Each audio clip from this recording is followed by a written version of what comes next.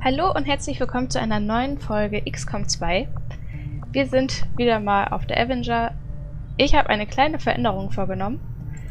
Und zwar bei den Soldaten. Ich werde jetzt nach und nach ein paar bekannte Gesichter einführen.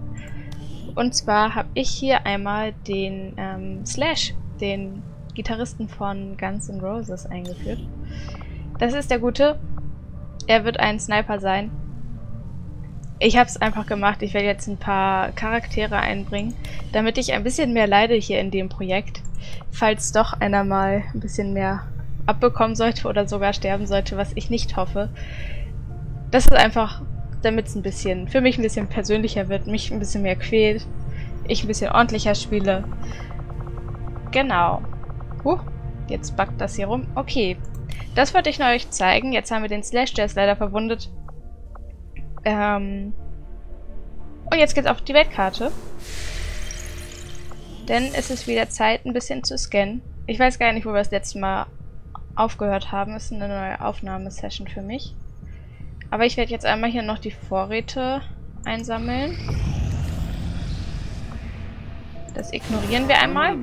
Zur Unterstützung Ihrer Bemühungen stehen Ihnen zusätzliche Ressourcen und zusätzliches Personal im Widerstandshauptquartier zur Verfügung. Und dann sehe ich, haben wir nur noch einen Tag zur Kontaktherstellung. Das werden wir auf jeden Fall schon mal machen. Setze Kurs auf den ostafrikanischen Sektor. Wir sind echt knapp, was Vorräte angeht. Das ist ein Problem.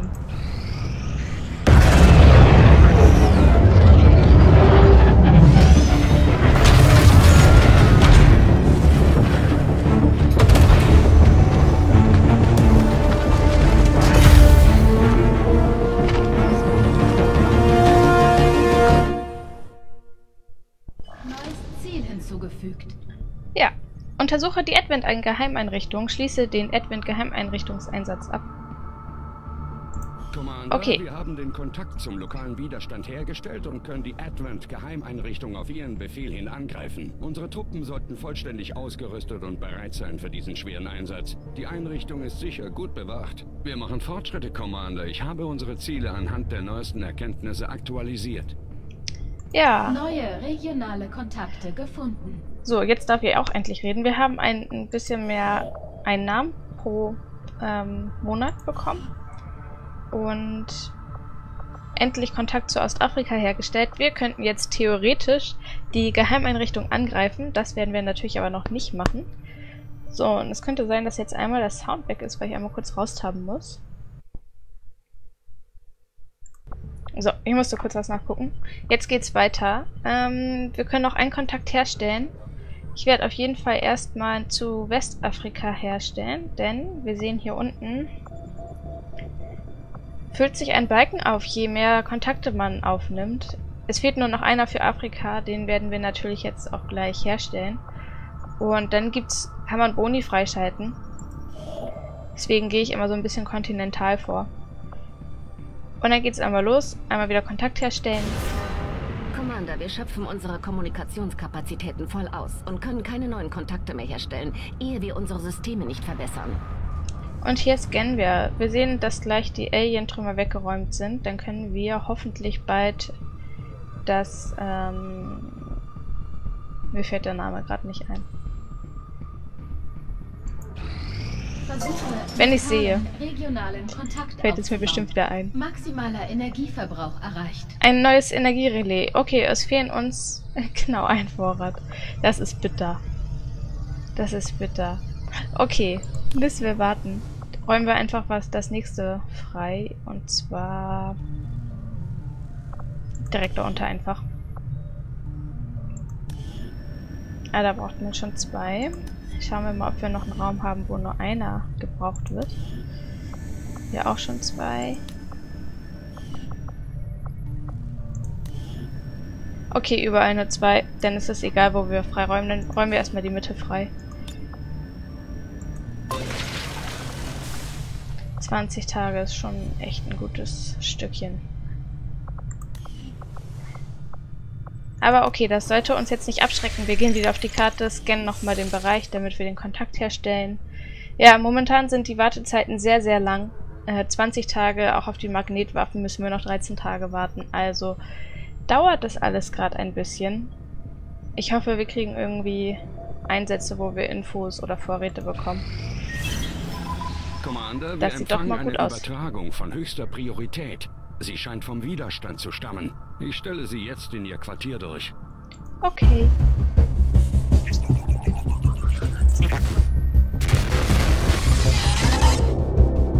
Hallo, Commander. Ihre jüngsten Aktivitäten sind Edwin nicht entgangen. Unsere ungebetenen Gäste sind in Bewegung. Edwin verwendet einiges an Ressourcen und Personal auf geheime Produktions- und Forschungseinrichtungen auf der ganzen Welt. Die genauen Details dieser Operationen sind streng geheim. Aber sie alle haben eins gemeinsam. Ein Wort taucht in all ihren Dateien auf. Avatar. Ich glaube, dass die von uns entdeckte Geheimeinrichtung nur ein Teil dieses Avatar-Projektes ist. Nach allem, was ich in Erfahrung bringen konnte, ist es in Wahrheit um einiges größer. Dieses Projekt wird von der obersten Riege von Advent gesteuert. Von einer Quelle, die ich noch nicht bestimmen konnte. Alle Versuche, ihre Identität zu ermitteln, sind gescheitert. Es wird Zeit für eine direktere Herangehensweise. Auch wenn wir die genaue Natur dieses Avatar-Projektes nicht kennen, können wir es trotzdem stören. Wir müssen diese Geheimeinrichtungen mit Hilfe lokaler Widerstandszellen ausrotten. Stören Sie die Aktivitäten des Feindes und decken Sie die Wahrheit auf. Finden Sie die Quelle des Avatar-Projekts und vernichten Sie sie.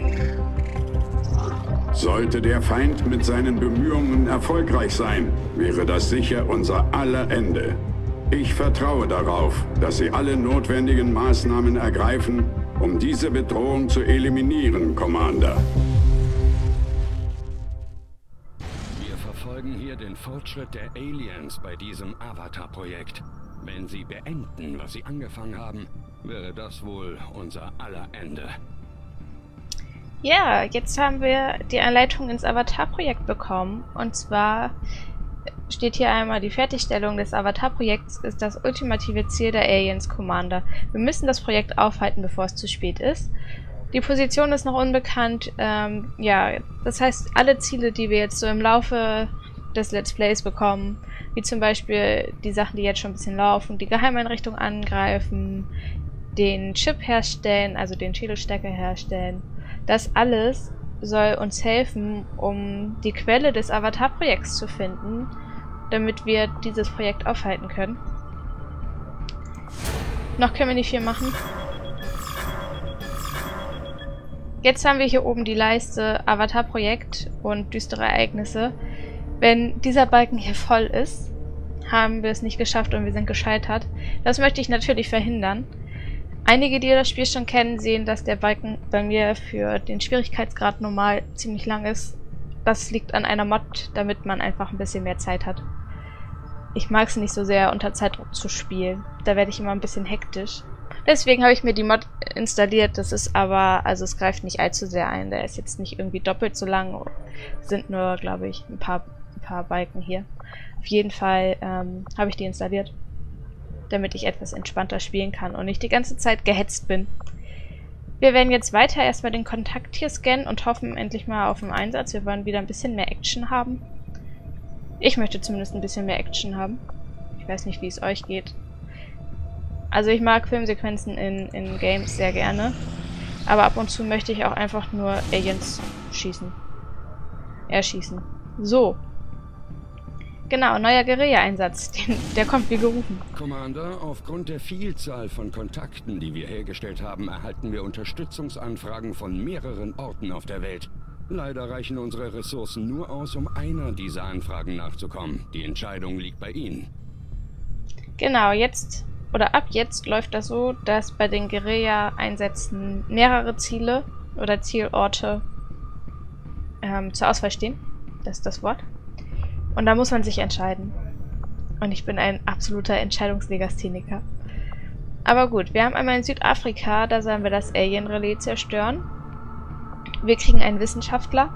Schwierigkeitsgrad ist leicht. Und es wird verhindert, dass ein Informant den, die Zeit zum nächsten Vergeltungsschlag reduziert. Dann haben wir nochmal in Ostafrika. Ähm, kriegen wir einen Ingenieur. Da sollen wir halt ein Advent-Fahrzeug hacken und die Advents würden keine Panzerung oder zusätzliche Rüstung erhalten. Mir ist ehrlich gesagt gerade der Ingenieur sehr wichtig als Belohnung. Beide sind leicht und beide beide düstere Ereignisse finde ich jetzt nicht so extrem schlimm, wobei ich es schlimmer finde, wenn die Advents noch mehr Rüstung haben. Deswegen nehmen wir einfach diesen Einsatz. Da stimmt eigentlich alles, was von den Voraussetzungen. Und dann nehmen wir den einfach mal. Setze Kurs auf Sektor 12, Ostafrika.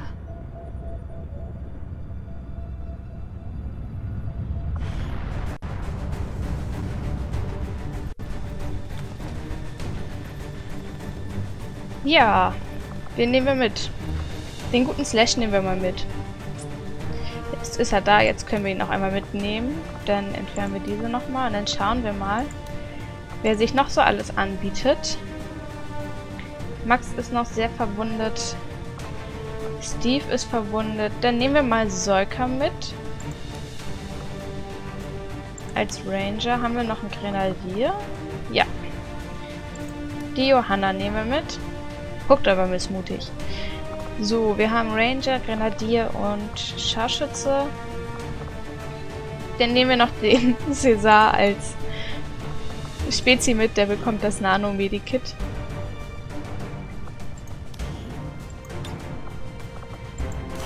Ich weiß nur, dass ich ihn für eine Frau gehalten habe. Es tut mir immer noch im Nachhinein sehr leid. So, Solka behält die Weste an. Wobei, was haben wir denn noch so alles? Er kriegt jetzt auf jeden Fall ähm, Ausrüstung. Und zwar kriegt er die Äxte. Ich, ich lasse mal die Nanoschuppenweste auf ihn. Solke hat nämlich leider das Talent, immer angegriffen zu werden. In allen meinen Kampagnen. So. Dann kriegt der Sniper einmal... Die Frostbombe nehmen wir mal mit. Und... Den Schattenhüter. Ein garantierter Treffer schon gut als Eigenschaft. Ich würde mal sagen, ach, Solkas Waffe ist noch nicht richtig. Müssen wir die Waffenfarbe nochmal schnell ändern.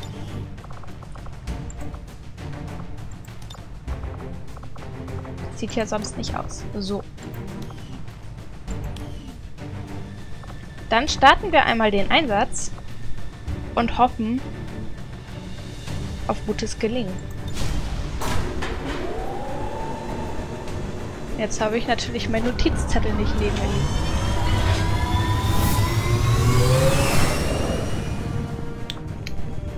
Sky Ranger, ein Grünes Licht für Teameinsatz.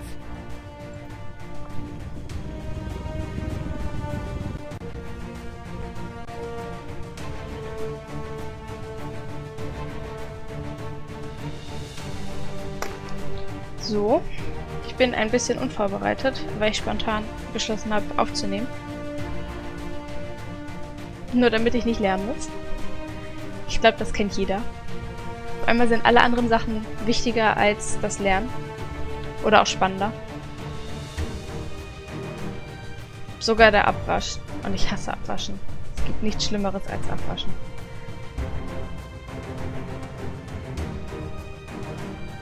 So, Spiel, mach hin.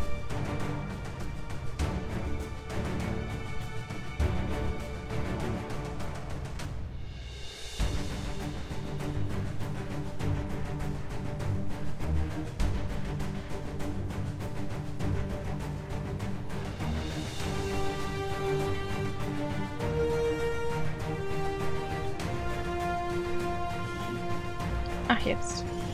Ich höre was. Es braucht heute aber echt lange.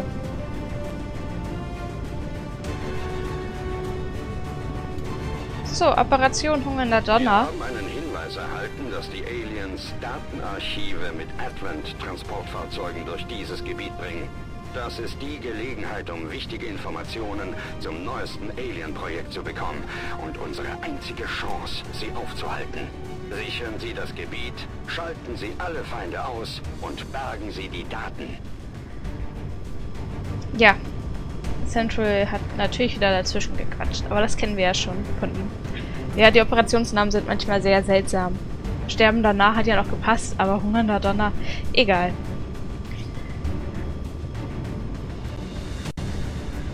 Ja, wir sollen hacken. Ich weiß gar nicht, welchen, welchen Spezialist ich gerade mitgenommen habe.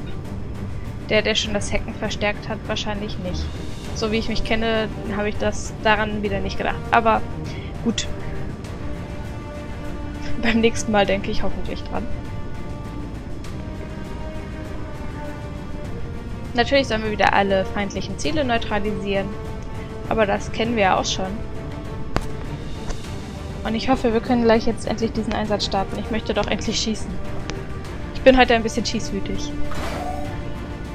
So, es geht los.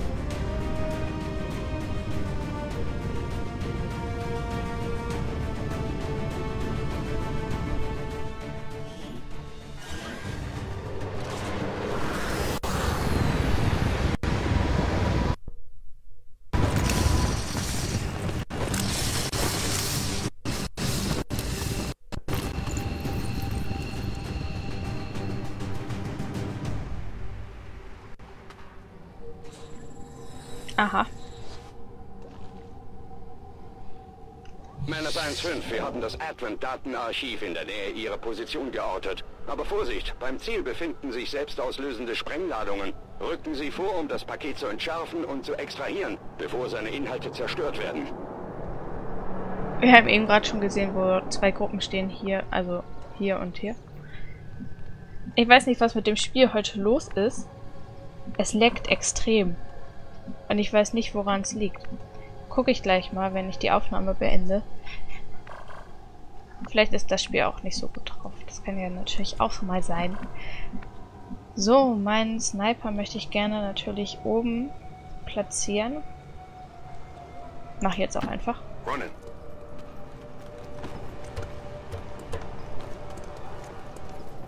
Oh, da war ein Geschütz.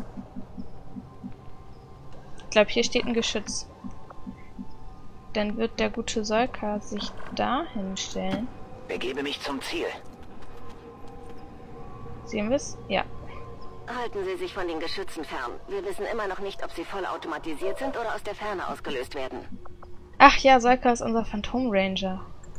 Ja, ich werde mal versuchen, ihn als Phantom Ranger zu spielen. Ich bin darin aber sehr, sehr schlecht. Schon unterwegs.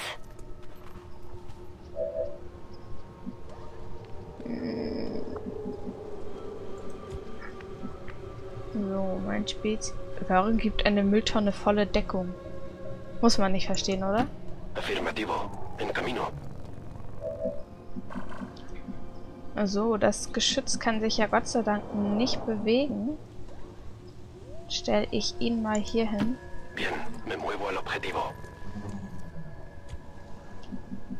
So, Solka würde da aufgedeckt werden. Ich gehe erstmal mit ihr. Dahin. Nähere mich der Zielposition. Und Solka stellt sich mal hier in die volle Deckung des Kaktus. So. Als nächstes möchte ich Slash wieder. Da ist das. Hm. Also so, wenn wir wissen, dass hier Gruppen sind, macht es keinen Sinn, wenn ich ihn da hinstelle, weil dann ist er vorne nicht geschützt. Wenn ich ihn hier hinstelle, weiß ich nicht, wie viel er sieht. Müssen wir einfach mal ausprobieren. Ich stelle ihn jetzt erstmal da oben hin. Moving on target location.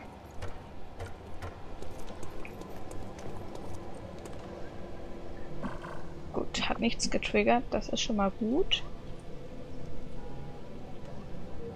Hm, sie kann sich das eine Sie? Ja. Johanna kann sich nicht besser platzieren. Und unserer gut. Nee, der kann sie auch nicht besser platzieren. Mit Sölka will ich nicht angreifen. Hm. Lass ich das erstmal so. Und wie wir den ersten Angriff starten werden, sehen wir in der nächsten Folge. Vielen Dank fürs Zuschauen und ich hoffe, wir sehen uns in der nächsten Folge. Bis dann. Ciao, ciao.